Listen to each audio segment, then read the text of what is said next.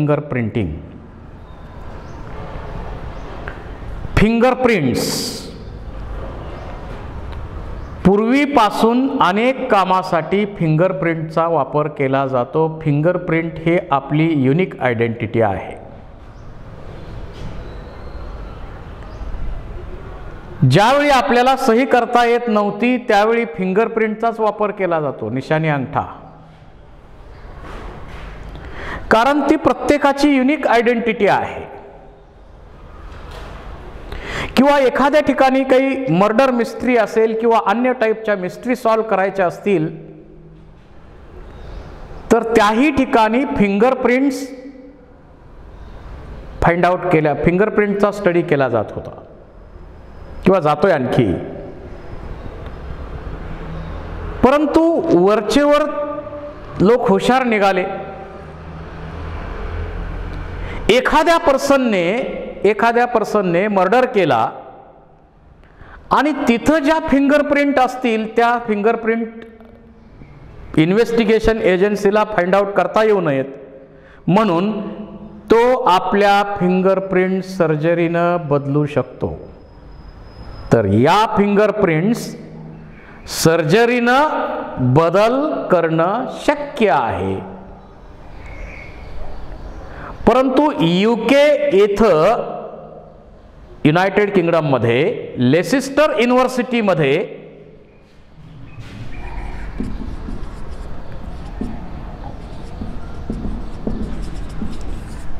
आलेक जाफारी या सायंटिस्टने eighteen eighty फोरमध्ये एक टेक्निक फाइंड आउट केलं. की ज्या टेक्निकला जगात आज D N A finger printing या टेक्निकनं ओळखलं जातं. त्याचा टेक्निक फाइंड आउट करण्याचा उद्देश मुळात काही फॉरेन्सिक लॅबमध्ये आपलं टेक्निक फार वापरात यावं असा नव्हता. तो हेरिडिटरी डिसिजेस जेनेटिक डिसिजेसचा स्टडी करत होता त्यासाठी त्यांनी ते टेक्निक डेव्हलप केलं. परंतु आज एवढं ते टेक्निक पॉप्युलर झालं आज कुठं पॅटर्निटी डिस्प्यूट असेल क्राईम्स असतील मर्डर मिस्ट्री असतील किंवा आणखी काही काय काय काय असेल अशा प्रकारचे. केसेस असतील त्या मिस्ट्री सॉल्व करण्यासाठी फिंगर प्रिंटिंग टेक्निकचा उपयोग केला जातो. काही वर्षांपूर्वीची घटना तुम्ही लक्षात घ्या. की आपल्या मुंबईवर ज्यावेळी अतिरेक्यांचा हल्ला झाला कसाब अतिरेकी जिवंत पकडला गेला कसाब अतिरेकी आपल्या इन्व्हेस्टिगेशन एजन्सीला म्हणतोय की मी पाकिस्तानचा आहे. परंतु पाकिस्तान हे मान्य करायला तयार नव्हता. परंतु तिथल्या मीडियानं त्याचे आईवडील शोधले. त्याच्या आईवडिलाच्या फिंगरप्रिंट घेतल्या गेल्या आणि आपण इकडून फिंगरप्रिंट पाठवल्या. दोन्ही फिंगरप्रिंट मॅच झाल्या आणि त्यावरनं मग त्या देशाला मान्य करावं लागलं कबूल करावं लागलं की हा आमच्याच देशाचा नागरिक आहे. म्हणजे एखादी व्यक्ती एखाद्या देशाचा नागरिक आहे की नाही हे पण शोधता येतं या टेक्निकनं मग या फिंगर प्रिंटिंग टेक्निकसाठी जे रॉ मटेरियल आपण यूज करतो म्हणजे डी एन एचा वापर करतोय D N A finger printing D N एचा वापर करतोय आणि डी एन ए फिंगरप्रिंट कुणालाही आजच्या कुठल्याही टेक्नॉलॉजीनं बदलता येणार नाही.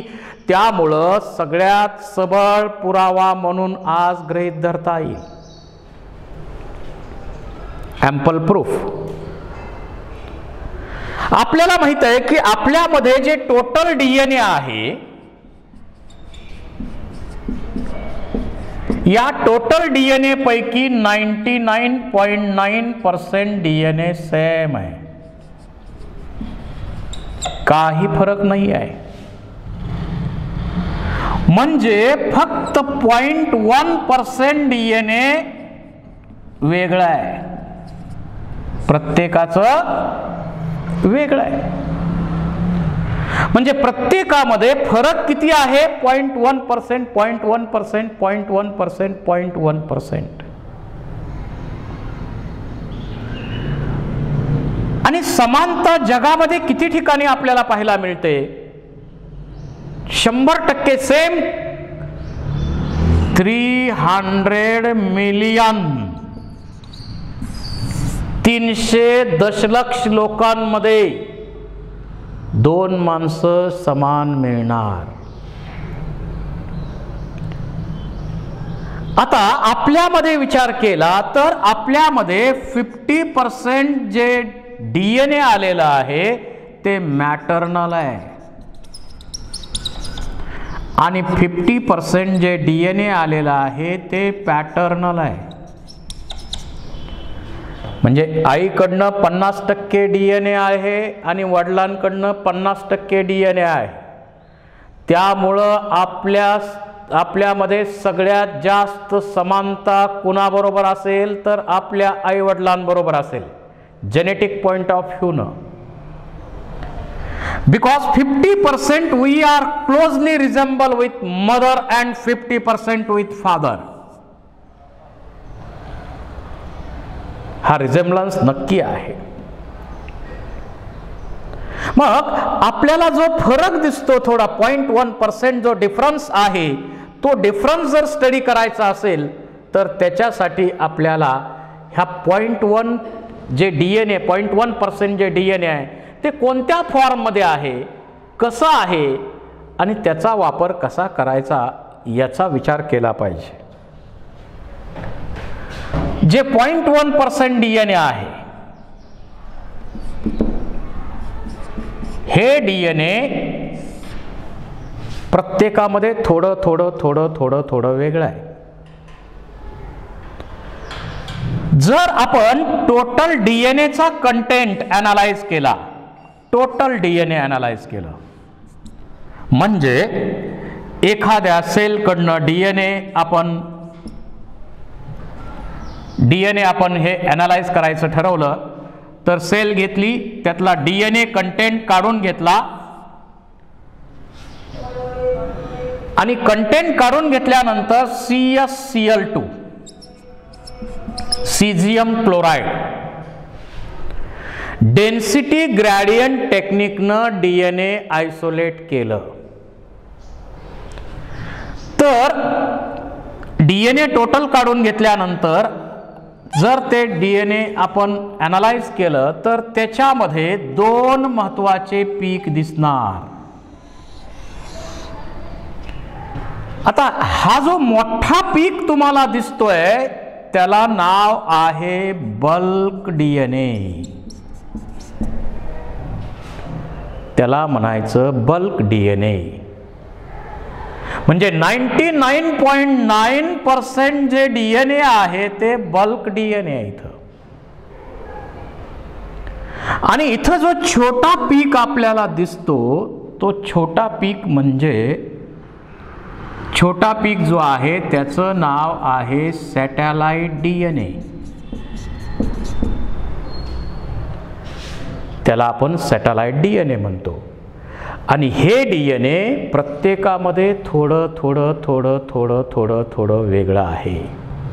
आणि म्हणून आपण डी एन ए फिंगर प्रिंटिंगच्या टेक्निकसाठी कोणतं डी एन ए घेतोय?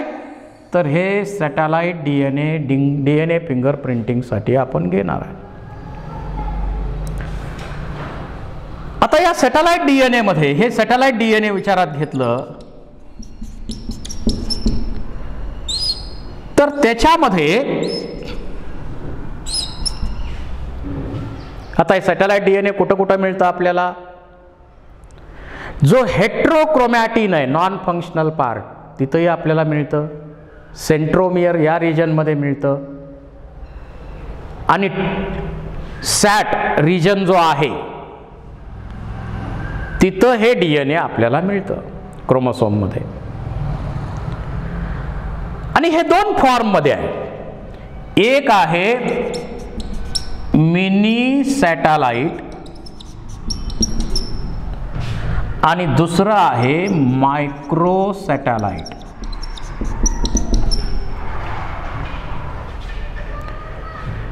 मिनी सॅटेलाइट आणि मायक्रो सॅटेलाइट असे दोन ग्रुप केले जातात पण कशाच्या बेसवर एक तर त्याच्यामध्ये एटी बेसपेअर एटी बेसपेअर किंवा जी सी बेसपेअर यांचा सिक्वेन्स किती आहे? पर्सेंटेज किती आहे? त्यानंतर त्यांची लेंथ किती आहे? आणि रिपिटेशन कशा प्रकारचं आहे? या बेसवर त्यांचे दोन ग्रुप केलेले आहेत. मिनी सॅटेलाइटमध्ये जर तो रिपिटेशनचा सिक्वेन्स त्याच्यामध्ये ten to sixty base pair up to hundred base pair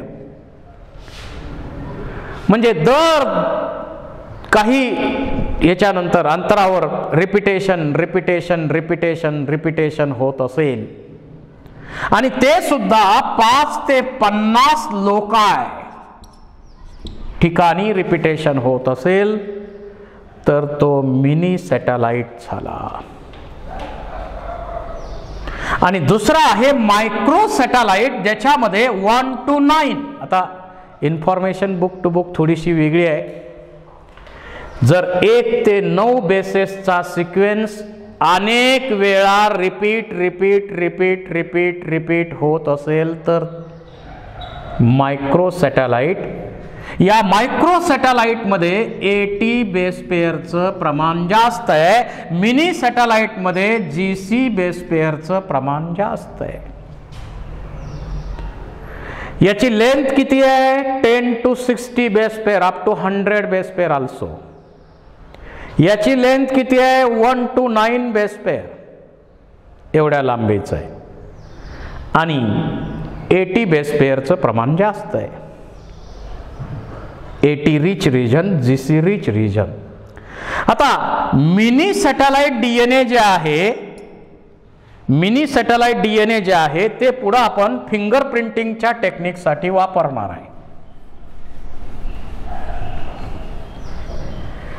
हे डी एन ए आपण वापरणार आहे पुढं फिंगर प्रिंटिंगला. कारण यांचं रिपिटेशन कसं होतंय आहे बघा आता मायक्रो सॅटेलाइटचा विचार करायचं म्हटलं तर बघा. समजा. हे D N A A T G C A समजा हा एक सिक्वेन्स आहे.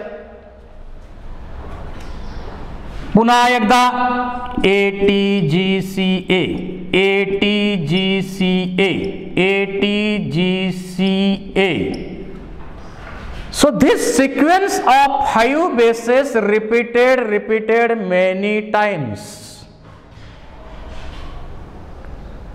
हा सिक्वेन्स अनेक वेळा रिपीट होतो आणि कोणत्या प्रकारचा सिक्वेन्स कुणामध्ये किती वेळा रिपीट होतो याच्यामध्ये फरक आहे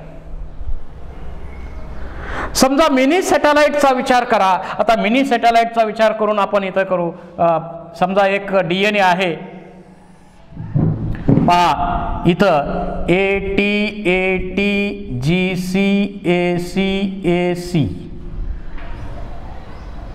तीन तीन सहा आणि तीन नऊ एक दहा आणि एक समजा अजून एक किंवा आपण अकरा बारा हे ठीक आहे एवढा सिक्वेन्स आहे. अकरा. अकरा बेसिसचा सिक्वेन्स आहे. हा परत एकदा रिपीट होईल. काय? A T A T G C A C A C A हा परत पुन्हा एकदा. आणखी रिपीट होणार. A T A T G C A C A C A so this sequence of particular bases repeated many times हा sequence परत repeat होतोय परत रिपीट होतोय परत रिपीट होतोय परत रिपीट होतोय परत रिपीट होतोय. आणि हा अनेक वेळा रिपीट होतोय. आणि रिपिटेशनचं प्रमाण प्रत्येकामध्ये सिक्वेन्स वेगळा आणि रिपिटेशनचं युनिट वेगळे. आणि म्हणून त्याला नाव दिलेलं आहे variable number tandem. Repeats. VNTR V T R म्हणजे सिक्वेन्स जे रिपीट होतात त्या रिपिटेशनमध्ये प्रत्येकामध्ये व्हेरिएशन आहे. एखाद्या सिक्वेन्स एखाद्यामध्ये पन्नास वेळा रिपीट होईल कुणामध्ये साठ वेळा होईल कुणामध्ये शंभर वेळा होईल कुणामध्ये दोनशे वेळा होईल कुणामध्ये तीनशे वेळा होईल कुणामध्ये चारशे वेळा होईल. म्हणजे रिपिटेशन प्रत्येकाचं वेगळं वेगळं वेगळं वेगळं आहे म्हणून त्याला आपण म्हणतो व्हेरिएबल नंबर प्रत्येकामध्ये रिपीट्स युनिट किती आहेत त्याचा नंबर वेगळा आहे. टँडम मेनी टाइम्स रिपीट्स अनेक वेळा रिपिटेशन यांचं होतं. म्हणून त्याला नाव दिलं आहे variable number tandem repeats V N T R आणि हा व्ही एन टी आरचा सिक्वेन्स जो आहे तोच आपण फिंगर प्रिंटिंगच्या टेक्निकसाठी घेणार आहोत. V N T R sequence आपण टेक्निकसाठी घेतोय. आता इथं सिंगल न्यूक्लिओटाइड पॉलिमॉर्फिझम किंवा पॉलिमॉर्फिझमचा कन्सेप्ट आहे.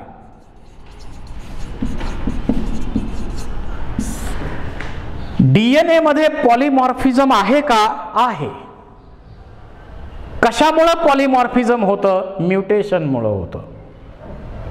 आता जे functional two percent D N A आहे त्याच्यात म्युटेशन झालं तर गडबड होणार. कारण जेनेटिक कोड बदलणार त्याप्रमाणे प्रोटीन बदलणार सगळी गडबड होणार. आपण सिकल सेल ॲनिमियामध्ये पाहिलेलं आहे.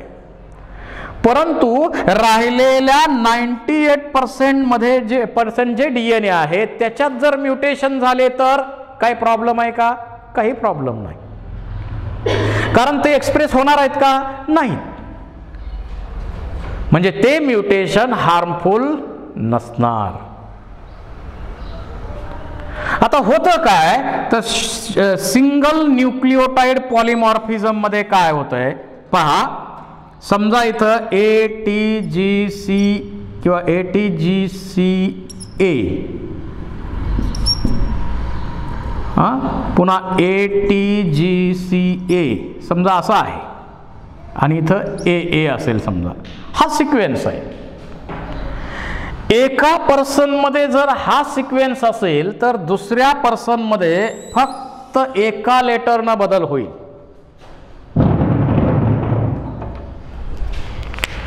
बाकी सगळं सेम असेल. A T G C A T फक्त आपण इथं इथं सी फक्त घेऊ. जी सी ए ए ए किती लेटरमध्ये बदल झाला?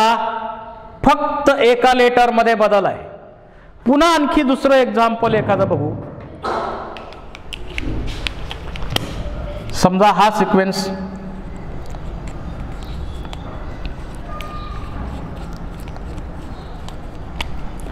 हा सिक्वेन्स इथं घेतला. ए टी इथं फक्त सी बदलला आहे हा. हा सी सिक्वेन्स सी मध्ये फक्त बदल आहे. इथं सी आला आहे पुन्हा C A T T C A A T G C A A A काय असेल ते. फक्त एक बदललंय लेटर इथं एक बदललंय. पुन्हा एखादा सिक्वेन्स आणखी घ्या. त्या सिक्वेन्समध्ये बघा A T G C A T G C A A A याच्यामध्ये समजा फक्त या ठिकाणचा सिक्वेन्स समजा इथं सी आहे. म्हणजे प्रत्येक ठिकाणी जो बदल तुम्हाला दिसतो तो किती लेटरमध्ये आहे? एका बेसमध्ये आहे. पॉइंट म्युटेशन म्हणजे प्रत्येकामध्ये थोडंसं म्युटेशन होणार वेगळं होणार डी एन ए म्युटेशन होणार वेगळं डी एन ए पुन्हा म्युटेशन वेगळं डी एन ए म्युटेशन वेगळं डी एन ए म्युटेशन वेगळं डी एन ए याप्रमाणे प्रत्येकामध्ये वेगळं वेगळं वेगळं वेगळं हे अनेक प्रकारचं डी एन ए म्युटेशनमुळं होतं आहे यालाच आपण म्हणतो पॉलिमॉर्फिझम. यालाच आपण काय म्हणतो? पॉलिमॉर्फिझम.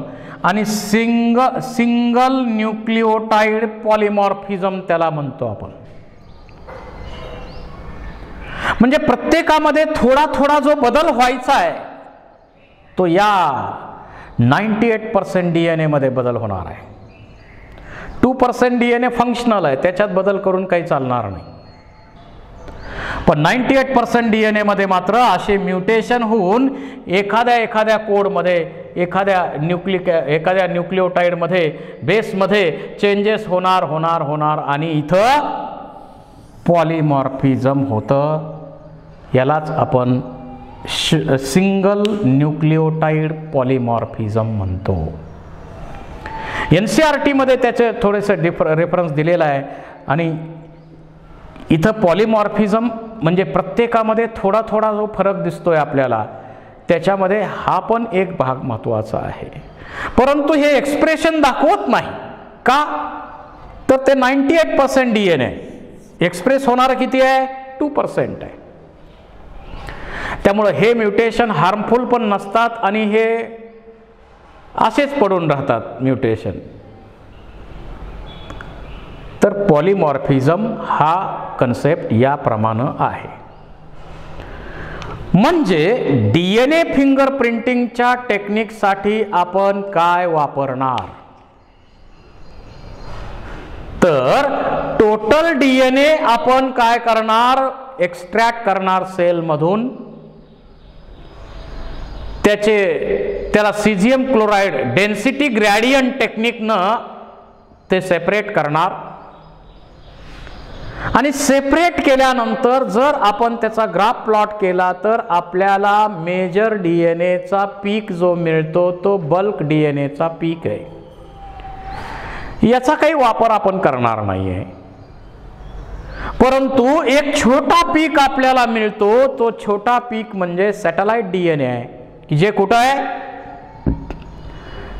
सेंट्रोमियरमध्ये आहे. सॅट डी एन ए तिथं आहे. हेट्रोक्रोमॅटिनमध्ये आहे कारण तो नॉन फंक्शनल पार्ट आहे. तर ते सॅटेलाइट डी एन ए आपण फिंगर प्रिंटिंगसाठी वापरत असतो. वन पॉईंट वन पर्सेंट जो डिफरन्स आहे तो या लेवलला आहे. बाकी ninety nine point nine percent आपल्यामध्ये समानता आहेच. आणि मग हे सॅटेलाइट डी एन ए जर आपण एक्स्ट्रॅक्ट केलं तर त्याच्यामध्ये पुन्हा दोन टाईप येतात. कशाच्या बेसवर? त्यामध्ये ए टी बेस पेअरची ला जास्त संख्या आहे का? जी सी बेस पेअर संख्या जास्त आहे. त्याची लेंथ त्याचं रिपिटेशन किती वेळा होतं? या बेसवर हे केलेलं आहे. मिनी सॅटेलाइट म्हणजे ज्याच्यामध्ये दहा ते साठ बेस पेअर लांबी आहे. हंड्रेड सुद्धा असू शकते. ज्याच्यामध्ये जी सी बेस पेअरचा कंटेंट जास्त आहे. आणि पाच ते पन्नास लोकेशनमध्ये त्याचं रिपिटेशन आहे. आणि याचाच वापर आपण डी एन ए फिंगर प्रिंटिंगसाठी करतो. व्ही एन टी आर म्हणून. म्हणजे व्हेरिएबल नंबर टँडम रिपीट्स जे म्हणतो ते हे डी एन ए घेतलं जातं. त्याच्याशिवाय मायक्रो सॅटेलाइट हा पण एक टाईप आहे की ज्याच्यामध्ये एक ते नऊ बेस बेस पेअर फक्त लांबीचं आहे. एटी बेस पेअरचा कंटेंट जास्त आहे आणि पाच ते पन्नास ठिकाणी याचंही रिपिटेशन आहे. आणि मग हे जे mini satellite D N A आहे ते आपण डी एन ए फिंगर प्रिंटिंगच्या टेक्निकसाठी वापरतो. व्हेरिएबल नंबर टँडम रिपीट्स म्हणजे प्रत्येकामध्ये या सिक्वेन्स कोणते सिक्वेन्स रिपीट होणार आणि किती वेळा रिपीट होणार याच्यामध्ये फरक फरक फरक आहे. आणि म्हणून नाव दिलंय व्हेरिएबल नंबर टँडम रिपीट्स आणि त्याचाच उपयोग आपण फिंगर प्रिंटिंगच्या टेक्निकसाठी करतो. त्यानंतर इथं पॉलिमॉर्फिझम हा एक कन्सेप्ट दिलेला आहे. पॉलिमॉर्फिझम म्हणजे अनेक प्रकार त्याचे बनतात.